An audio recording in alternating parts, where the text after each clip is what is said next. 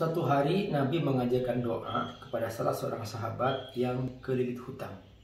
Doanya, Allahumma inni a'udzubika minal hammi wal hazan wa a'udzubika minal azzi wal kasal wa a'udzubika minal jubni wal bukhl wa a'udzubika min ghalabati daini wa qahri rijal.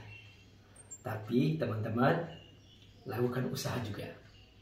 Ayo, bebaskan hutang kita bersama BP. BP berkah dan produktif.